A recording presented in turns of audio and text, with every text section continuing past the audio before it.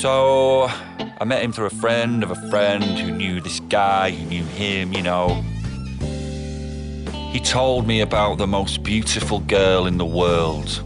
You will go blind just by looking at her. Well, I didn't believe that fairy tale stuff, but we sailed out together to find her.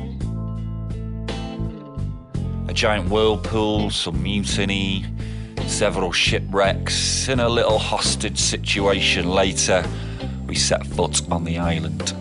And there she was. Fairy tales do exist. I may have lost an eye, but I gained a friend. And yeah, if I get the chance, I'll go back there again.